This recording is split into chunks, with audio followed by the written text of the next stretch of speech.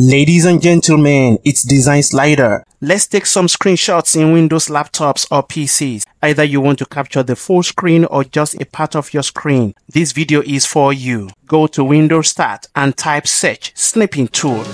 It is faster when you use the shortcut keys Windows Shift S. Then you will have the snipping tools up here. The rectangular snip, freeform snip, window capture, full screen capture. Let's start with the freeform snip. Click on it. Draw a freehand shape around the part you want to capture. As you release your mouse, the snipping editing box pops up. Click on it to edit and resave.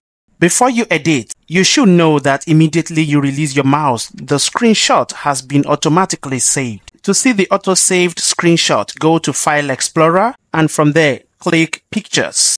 Then click to open the screenshots folder. This is where you see all auto-saved screenshots. Now let's take more screenshots. Press the shortcut keys Windows Shift S to get the snipping tools. This time we'll be using the rectangular snip. Draw a rectangle around the part you want to capture.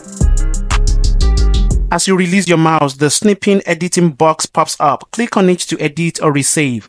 Let's open this to see how it works. Here is the screenshot.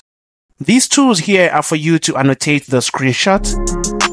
This button is to crop and resize. This is to copy so you can paste in a project you're working on.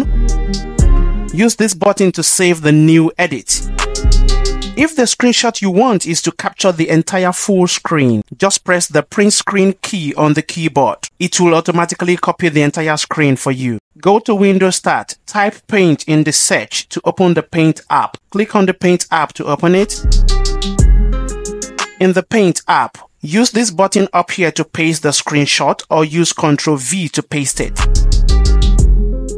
Here is the full screen we captured. Here is to zoom in and out for your view. All these tools at the top here are for editing. When everything looks good, go to File and Save.